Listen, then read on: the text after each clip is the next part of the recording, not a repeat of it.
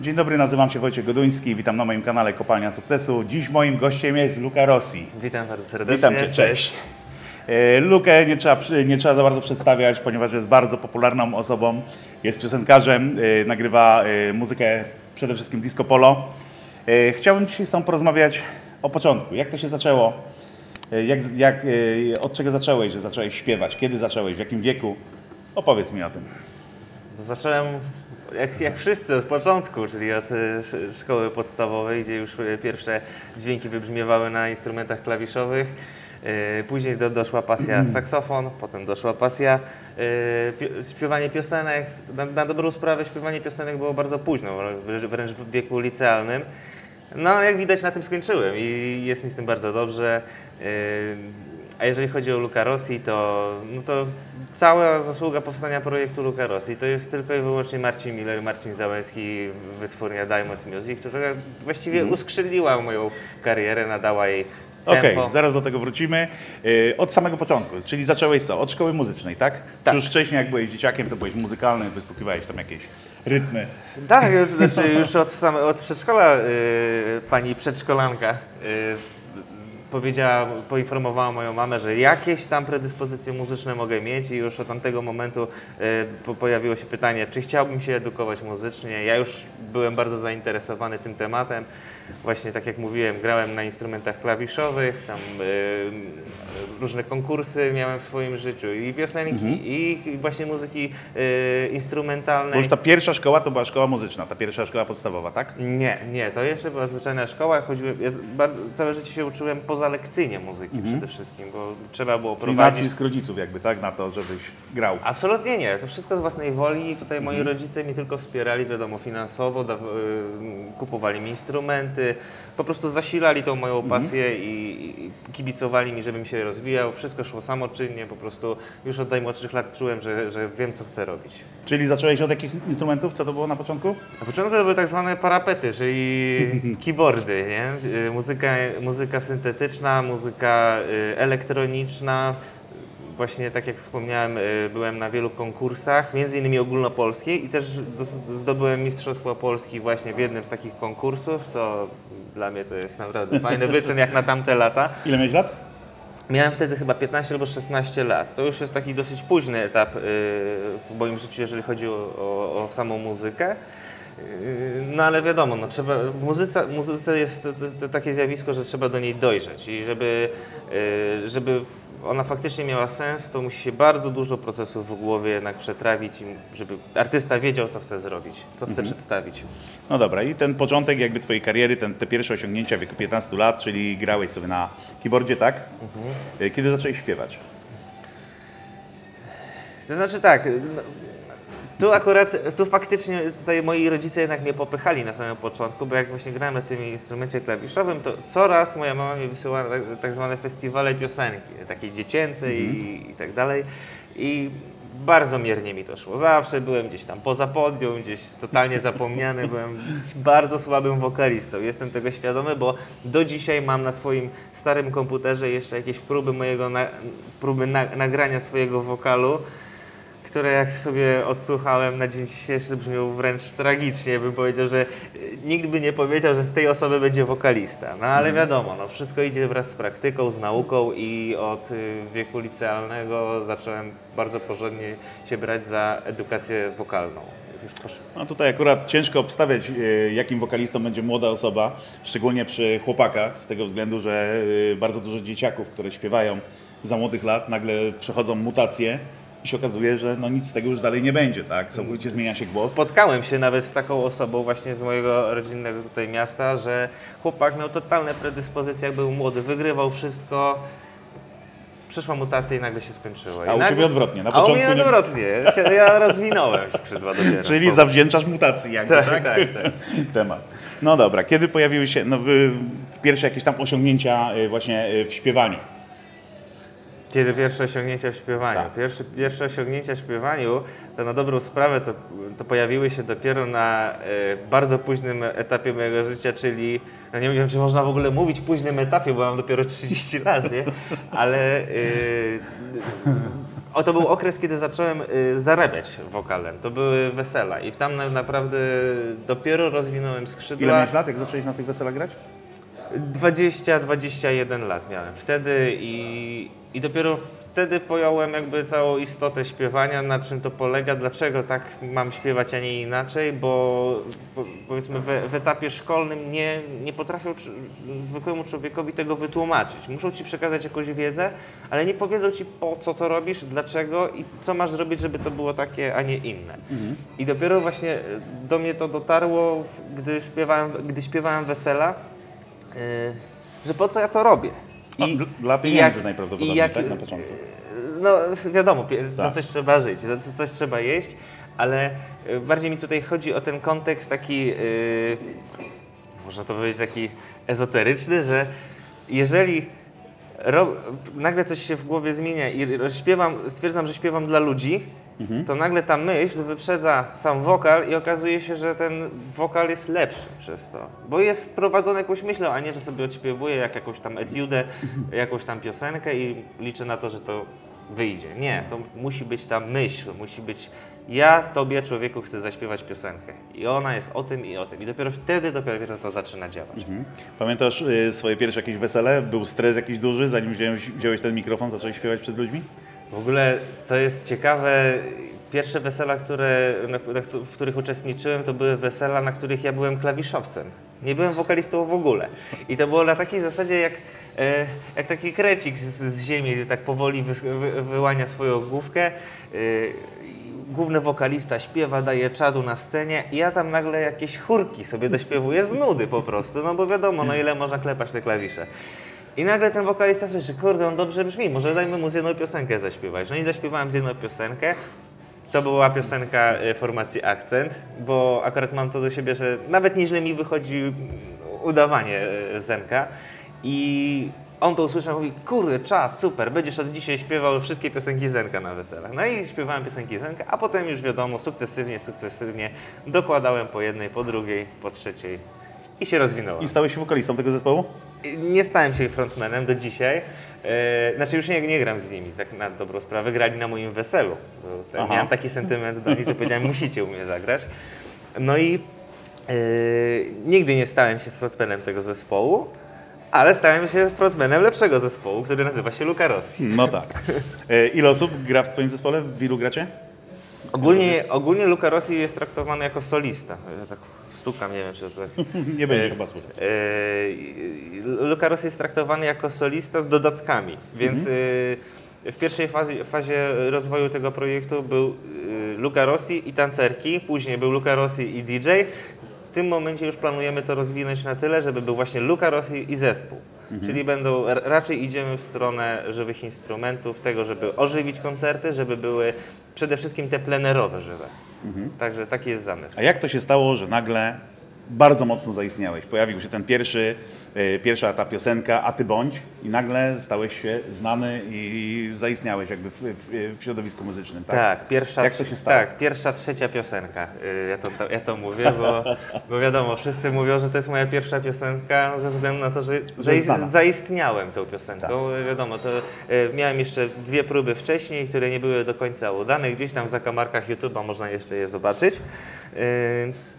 Ale w momencie, gdy, gdy pojawiła się właśnie piosenka A ty bądź, to właściwie świat stanął do góry nogami. No, nie było to wiadomo takie wydarzenie, że nie, piosenka dzisiaj powstaje, jutro nagle mnie y, obcy człowiek poznaje na ulicy. To tak nie działa. Tak, ale rozmawialiśmy, że to się zaczęło od programu y, Disco Star, tak? Tak, tak, tak. Czyli, Program- czyli najpierw, że się zgłosił do takiego programu, żeby gdzieś tam się pojawić, żeby zaistnieć, tak? Mm, tak, no bo umówmy się, że ludzie, nie, ludzie nigdy nie, pojawia, nie, nie wyłaniają się znikąd. Zawsze Tak. na ich, na ich y, karierach są różne etapy i żeby dana wytwórnia, to taka rada dla przyszłych wokalistów i przyszłych zespołów, żeby być, żeby, żeby jak to w, w, w jednej firmie znanej i lubianej mówią, żeby grać, żeby wygrać trzeba grać, tak? Tak. I żeby zaistnieć na scenie muzycznej trzeba naprawdę pojawiać się w różnych wielu miejscach, żeby inne, inne osobistości, które mogły Wam pomóc, między innymi właśnie Marcin Miller i Marcin Zamiecki z, z Diamond Music, y, mogli Cię zobaczyć i wtedy y, przyjąć Cię pod swoje skrzydła i Ci pomóc się rozwijać, e, wypromować, rozwijać się i tak dalej, etc. Jeżeli chodzi o Disco Star, to właśnie to była taka moja próba zaistnienia. Stwierdziłem, a co mi szkodzi, no czemu nie? Ale mówiłeś, że byłeś tam dwa razy, tak? Dwa razy byłem. Dwa razy byłem w programie Disco Star na trzeciej i czwartej edycji, o ile się nie mylę. Yy, W trzeciej edycji poszło mi tak, powiedzmy średnio, no bo byłem tam, y, przeszedłem eliminację, byłem w tej szesnastce, potem były w dru- kolejnej edycji doszedłem do półfinału i tam właśnie przede wszystkim najbardziej zaistniałem. Ale w tej pierwszej edycji pojawiły się już jakieś propozycje współpracy od jakichś znanych artystów? Tak. Tak, pojawiła się tylko, mm, skończyło się tylko na propozycji podczas kręcenia programu, już po programie temat się urwał. No tak, nieraz tak bywa. Trochę Nieraz tak bywa, no, czasami ludzie nawet pod wpływem emocji potrafią mówić różne rzeczy, a potem prześpią się z tymi, wiadomo, No, i, i mogą stwierdzić, a jednak nie, no nie ma, nie ma nic w tym złego. Yy, No i co, no i pojawiłem się w tym Discostarze, pojawiłem się w telewizji, ludzie zaczęli mnie w jakikolwiek tam sposób rozpoznawać, wtedy jeszcze jako Łukasza Rosińskiego, no bo byłem, yy, byłem yy, no gdzieś tam w telewizji zaistniałem przede wszystkim. To jest naprawdę niesamowita dźwignia. Telewizja dla, dla wszystkich zespołów, żeby się po prostu pokazać. Nie, żeby od razu zarobić i żeby nam narobić sobie nie wiadomo jakie wyświetlenia na YouTubie i tak dalej. Po prostu, żeby... O, przepraszam bardzo, przepraszam bardzo. Ojej. Nic się nie stało, nic się nie stało. Chwilę, chwilę, daj, daj mi sekundkę, to sobie... Będziesz wycinał? Nie, idzie w całość. Aha, dobrze. Dobra, tyle. zapomniałem o samolotowym. No, No, no trudno spokojnie. zdarzać. E, I ja, co, co ja mówiłem? Mówiłem o tym, że właśnie telewizja jest tą, tą niesamowitą dźwignią, która może pomóc, więc y, drogie zespoły, wokaliści przyszli, saksofoniści, instrumentaliści, wszyscy, którzy ludzie chcecie za, zaistnieć w świecie, jednak te, warto iść do tej telewizji i się wspomóc jej możliwościami. Mhm. I co? I tam był Marcin Miller właśnie i cię upolował. Tak, ustrzelił mnie. Headshot. Headshot. Yy, wiadomo, to nie było tak od razu, że mm, od razu emisja programu się skończyła i już tam robimy. Nie, to było na takiej zasadzie, że wiadomo, tem, trzeba się przespać z tą myślą. No, No, i. Marcin się przespał, przespał się pół roku i za pół roku do mnie zadzwonił, słuchaj, robimy taki projekt, tutaj chcieliśmy takie coś właśnie wykombinować, taką wytwórnię, co ty na to? Ja mówię, jak najbardziej, no po to jestem, po to się urodziłem, po to się uczyłem tej muzyki, żeby, żeby jednak ją jakoś spożytkować, żeby cieszyć ludzi swoimi piosenkami, swoją, swoim wo- z wokalem, swoją charyzmą sceniczną. Oczywiście. No, Marcin ma duże doświadczenie, jest znaną osobą tutaj w Disco Polo. No i była to jakby, jakby nie było duża szansa dla Ciebie. No, to, to są tak zwane y, propozycje nie do odrzucenia. No, wręcz Tak. wręcz y, trzeba by było być zbyt ostrożnym, żeby, żeby nie przyjąć takiej propozycji, bo się takie propozycje nie zdarzają codziennie. Zwłaszcza tak zwanemu szaremu człowiekowi, który na co dzień, nie wiem, powiedzmy, siedzi na kasie w jakimś sklepie albo, nie wiem, przenosi worki na magazynie.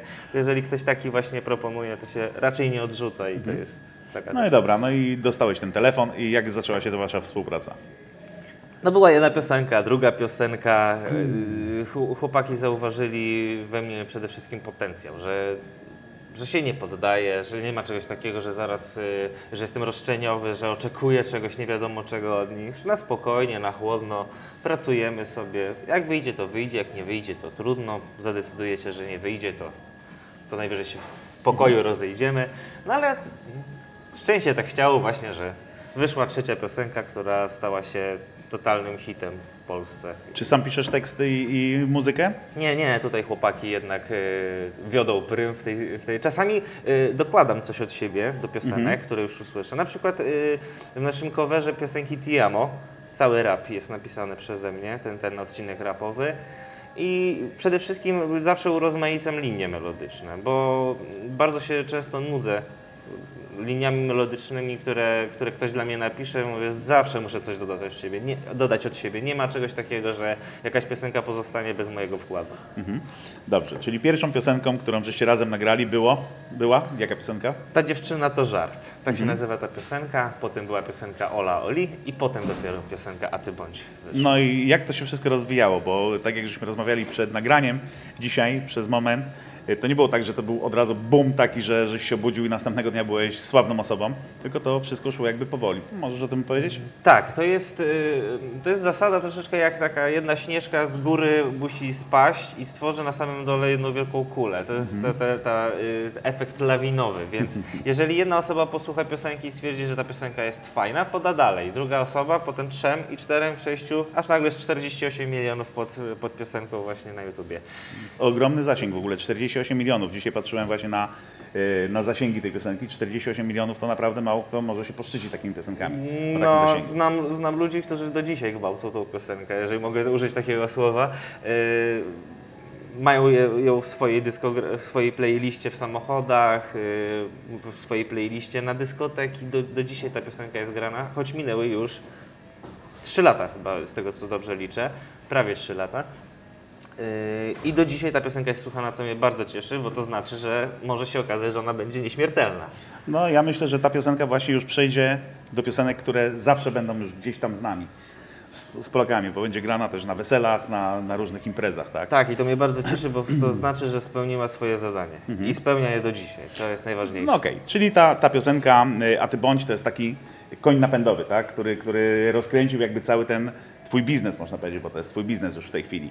Następne piosenki, zaistniała jeszcze jakaś taka bardzo popularna piosenka, która zbliżyła się chociaż troszeczkę do tej No właśnie pojawiły się dwie piosenki. Pio- Pojawiła się właśnie duet z Marcinem Millerem Winogrona, który też bardzo dobrze został odebrany i bardzo chętnie ludzie yy, przede wszystkim na koncertach ją odbierają. Yy, bo jak leci ta, wino, ta, ta piosenka, tekst jest prosty, wręcz trywialny, ci ludzie bardzo chętnie to śpiewają. Więc yy, świetna piosenka na wszelkiego rodzaju imprezy. Naprawdę. Yy, bardzo dobra, do, do, jeżeli chodzi o interakcję z publicznością. No i kolejna piosenka to już jest cover właśnie yy, słynnej piosenki Ti Amo. I, I ta piosenka też ma bardzo dobre zasięgi, bardzo dobrze idzie, no ale to chyba nic dziwnego. No przecież to Ti Amo to był taki hit wszechczasów, że no, dziwne by było, żeby ta piosenka nie istniała. Dokładnie Więc tak. Właściwie zagwarantowaliśmy sobie sukces od razu wybierając tą piosenkę. Mhm. Y, Jakie są Twoje dalsze y, plany? No, na, pewno, na pewno to nie jest koniec y, Twojej kariery, tylko dopiero początek, rozkręcasz się w tym wszystkim. Przede wszystkim projekt Luca Rossi będzie teraz, zwłaszcza teraz, będzie projektem totalnie nieprzewidywalnym. Nie będzie, jeżeli ktoś, bo, jeszcze troszeczkę wrócę na myśl, No jeżeli, tak czytam po kom- komentarzach na przykład w internecie, które tam ludzie, ludzie wypisują, jeżeli ktoś zakłada, że projekt Luca Rossi będzie czysto disco-polowy, się myli. Jeżeli ktoś zakłada, y, że projekt Luca Rossi będzie totalnie ucieknie od disco polo, tak samo się myli.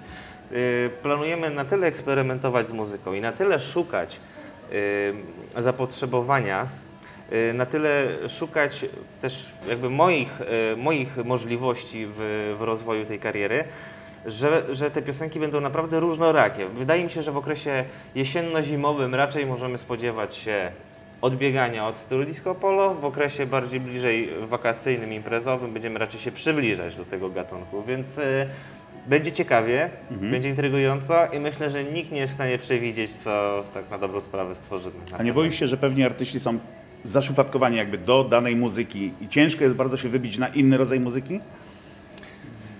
Uważam, że y, na szczęście, po, pomimo tego, że jest faktycznie taka tendencja, ale na szczęście y, społeczeństwo już na tyle dojrzewa muzycznie, że przestaje wybierać piosenki pod kątem y, artysty.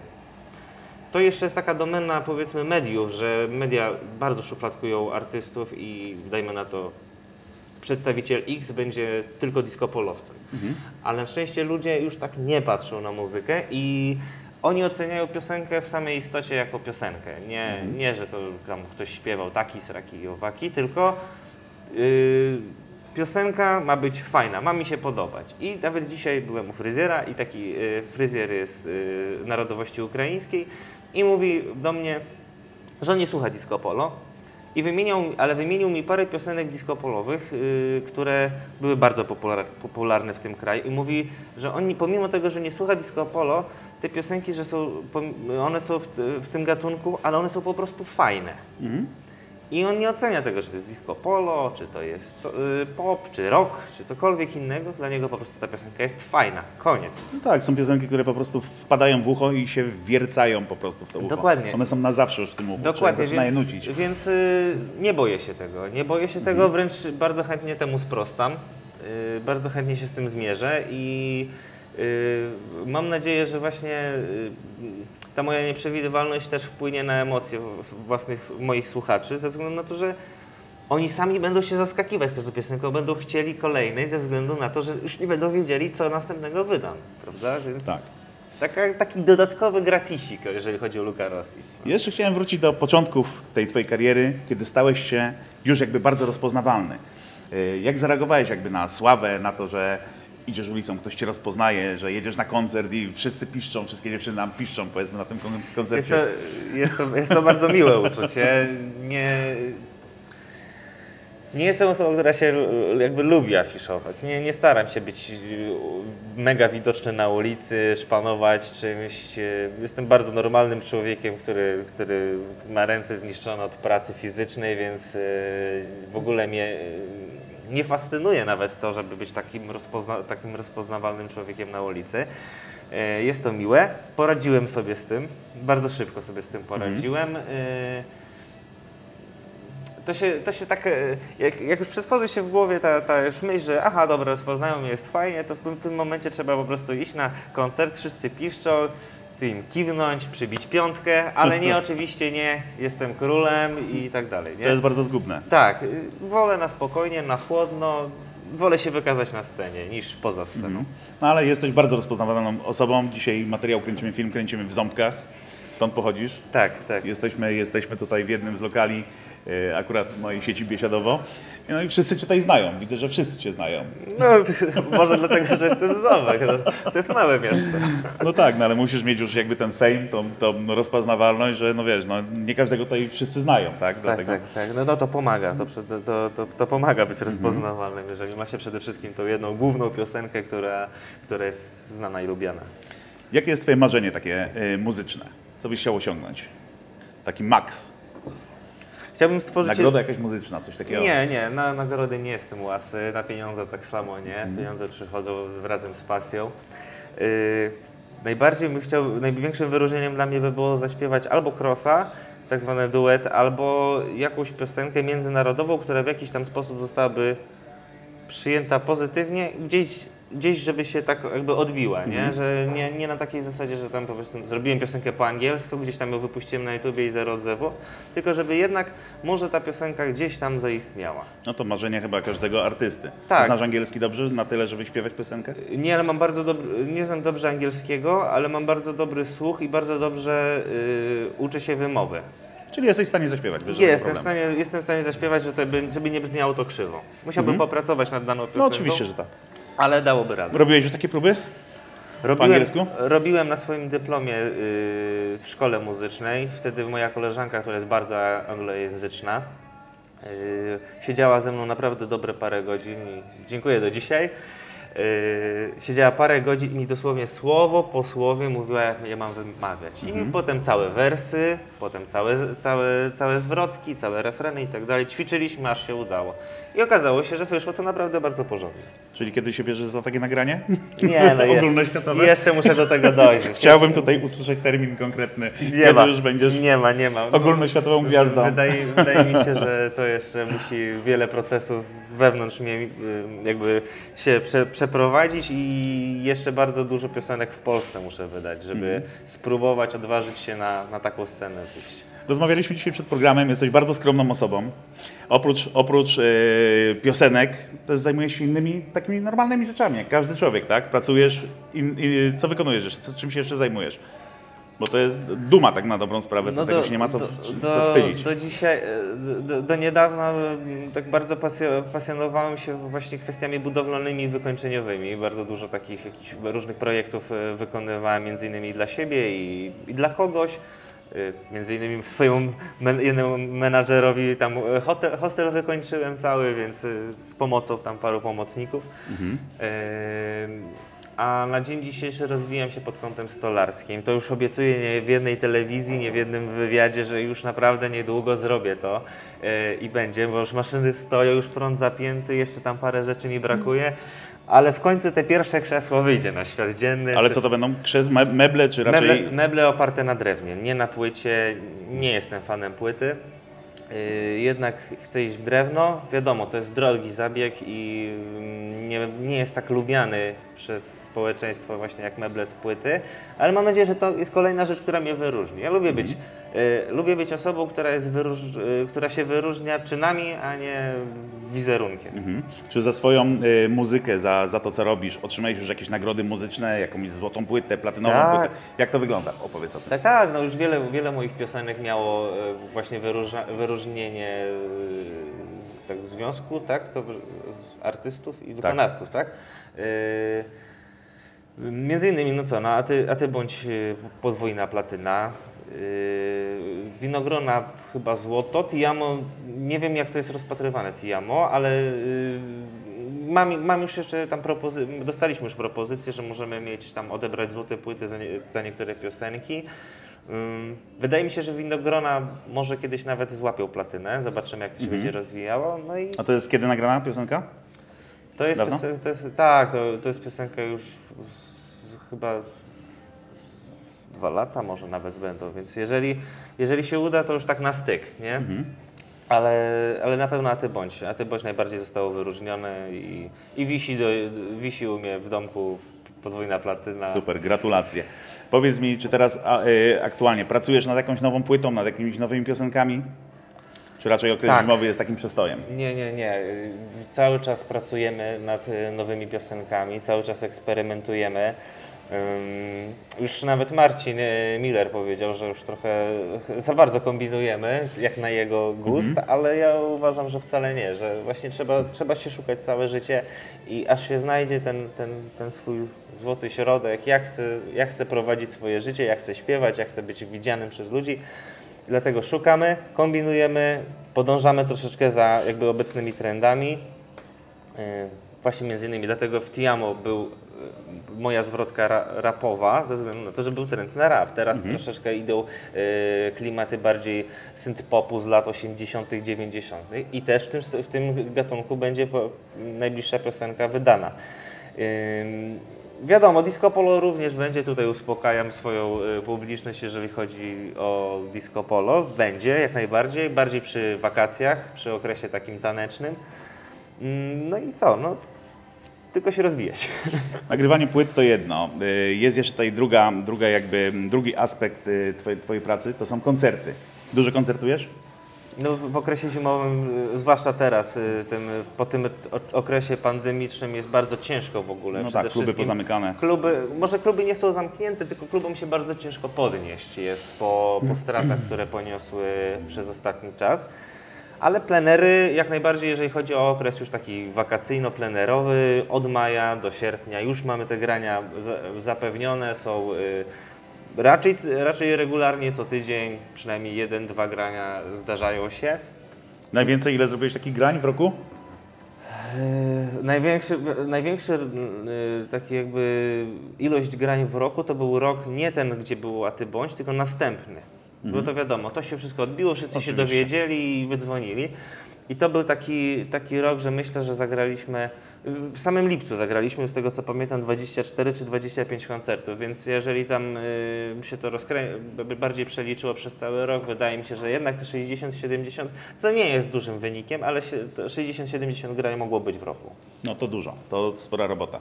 Powiedz mi, jeżeli ktoś by chciał wynająć Cię na jakiś event, yy, Twój zespół, chciałby, żeby, żeby, żebyś zaśpiewał, jak można się z tą skontaktować, jak można złapać kontakt? No, Przez pr- co? Przede wszystkim y, w pierwszej kolejności zachęcam do y, wyjścia na y, fanpage Luka Rossi na Instagramie i na Facebooku, tam Mhm. napisanie prywatnej wiadomości. Jeżeli to nie przejdzie, bo czasami tak się zdarza, że się tam jakaś wiadomość zawieruszy i jej nie, nie, nie odpowiemy na nią, bo y, bardzo często zdarzają się właśnie takie mm, zapytania żeby takie roszczeniowe, wyślij mi coś, Tak. nie? w sensie płytkę, koszulkę, coś tam. Wiadomo, tego jest tak dużo, że no, nie jesteśmy w stanie na to wszystko odpowiadać. Jeżeli gdzieś tam się zawieruszy y, py- zapytanie o koncert, no to czasami to niestety przepada. Dlatego oczywiście na, na tych fanpage'ach i tych portalach internetowych jest y, też właśnie zakładka informacji, gdzie są numery telefonu do tour managera, między innymi właśnie y, do Diamond Music, strona Diamond Music i tak dalej. Y, Moim tour managerem jest y, agencja artystyczna MS, czyli tam Maciej Szulce, tak samo jest y, wszędzie numery podane i tak dalej. Więc można jak najbardziej skontaktować się, a potem już tylko jestem na miejscu i śpiewam dla Ciebie. Jasne, czyli łatwo Cię znaleźć, nie ma Łatwo, problemu łatwo. żadnego. Mój kanał nazywa się Kopalnia Sukcesu. Zawsze zadaję pytanie moim gościom, czy osiągnąłeś już sukces? Jak to widzisz? Jak to wygląda z Twojej perspektywy? Y, Całe życie chyba sobie będę to powtarzał, to pytanie, czy już osiągnąłem sukces i za każdym razem sobie odpowiadam tak samo, że wydaje mi się, że nawet jestem pewny, że największy sukces jest, jeszcze przede mną. Yy, Dobrze. Yy, Oprócz, oprócz tego, że grasz, masz jakieś hobby, czy co robisz w wolnym czasie? Czy w ogóle znajdujesz, znajdujesz jeszcze czas na jakieś takie rzeczy yy, przyziemne, które Cię cieszą? Yy, Jeżeli chodzi o, o takie, takie hobby, to jednak ta realizacja dźwiękowa też się przewija w moim życiu. Yy, Skonstruowałem sobie takie amatorskie studio nagraniowe i tam realizuję jakieś tam różne muzyczki. Yy, Bardziej to hobbystycznie niż zawodowo, bo nie jestem osobą, która jest na tyle doświadczona, jak co niektórzy realizatorzy w tym kraju. To są raczej tak dla, dla własnego sakrum tworzone produkcje, kto wie, może któraś się kiedyś przyda i, Jasne. i ujrzy światło dzienne. Czyli też Twoje hobby jest jakby Twoim zawodem. Tak, no i jak to taka moja podstawowa zasada. Musisz lubić swoją pracę, tak? Bo jak nie tak. lubisz, to się w niej męczysz, więc najlepiej ją zmień. No I podobno tyle. jak się lubi swoją pracę, to tak naprawdę się nigdy nie to, pracuje. Tak, to żadna praca, właśnie, dokładnie. Luka, bardzo dziękuję Ci za fajny wywiad. Dziękuję. E, Bardzo mi miło, że udzieliłeś mi fajnego wywiadu. E, Dziękuję Państwu za obejrzenie e, tego filmu. Jeżeli odcinek się Państwu spodobał, bardzo proszę o naciśnięcie pod filmem ikonki subskrybuj oraz zostawienie łapki w górę. Bardzo proszę również o udostępnianie tego filmu. Bardzo dziękuję. Pozdrawiamy.